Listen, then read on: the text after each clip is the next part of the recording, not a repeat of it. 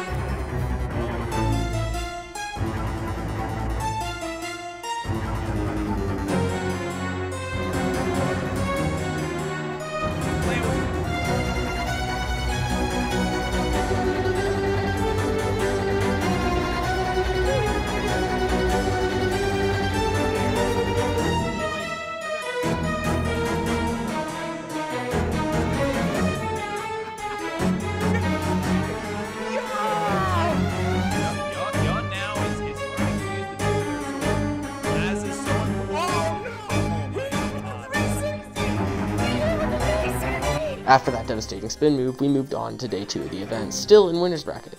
Story, however, wouldn't last long. We were being put up against Dopey Tater Chip, someone who's known for being one of the best players in the game. Day 2. What the crap was that? After some strategizing with the Blazeball, we came to the conclusion that my high seed allowing me to host, plus picking my main, I should be able to get through at least the first round.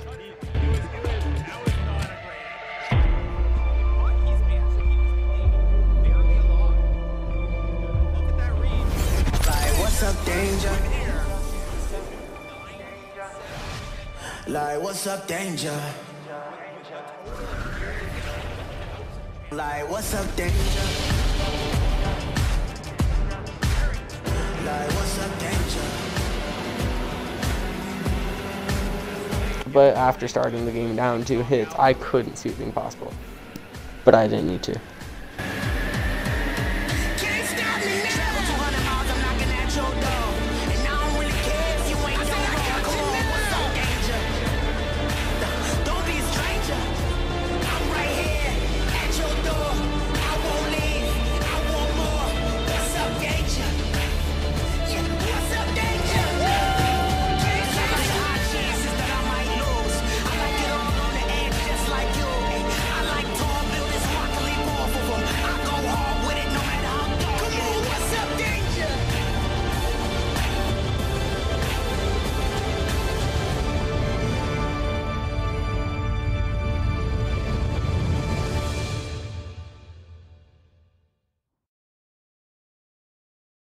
After the reverse sweep of a lifetime, I figured the next game on his host would have to be a throwaway round to get my host back.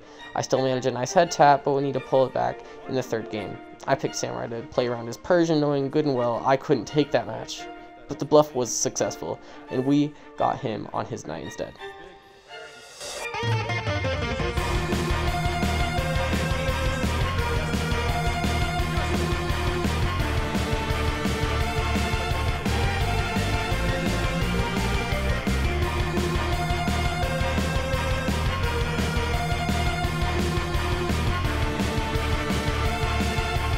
But once again, he pulled the first two rounds. And we were going to need the second reverse sweep of the game.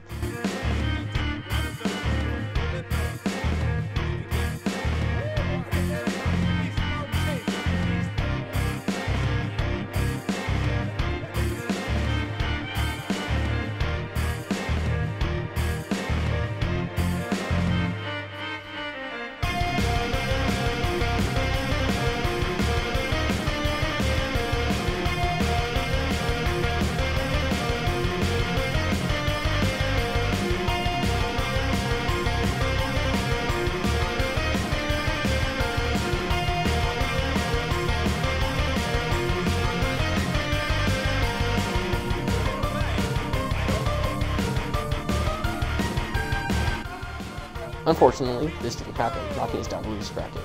We were playing against Owl, we're thinking about using the longsword to counter him.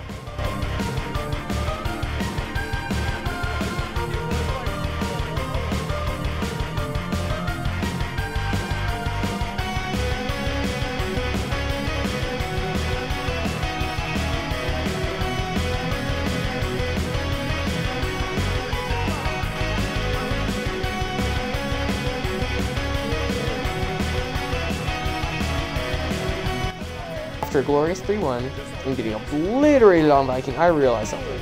I didn't want to play for another few hours. I had places to be. So I picked Tyrant knowing good and well I am terrible with it. And that marks the end for my dream. Thanks so much for watching, and thanks to Oolong for hosting the event. Go check him out.